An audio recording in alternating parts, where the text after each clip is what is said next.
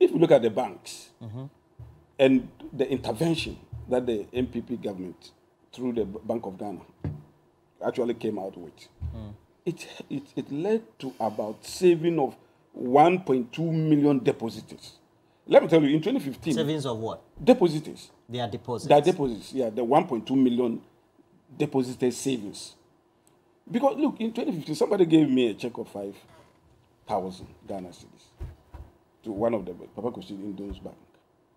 The check is still in the house. you mean you couldn't be paid in 2015? No. That cannot be true. I'm telling you, Because you I said was- that. I- I- I'm I was a telling- customer of Yeah, GM Bank Oh, I'm until- telling you, you go here, they tell you, go to the head of office. You go to the head Saaka, office. that cannot be true. I'm telling you what happened. But you see, whatever it is, I mean, you, you, you can. Maybe You, there you've no you've money. withdrawn. Whatever it- you've whatever- withdrawn There this was no communication. Okay, whatever. Because I was a, no I was a customer. No problem. Whatever you, I mean, but the, the good people who are listening There to was me, no money in the the good people of Ghana who are listening to me understand what I'm saying.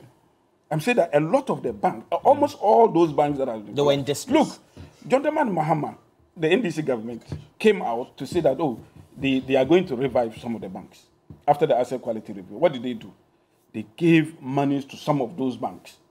And when they gave the money to those banks, what did they, the banks do with the money?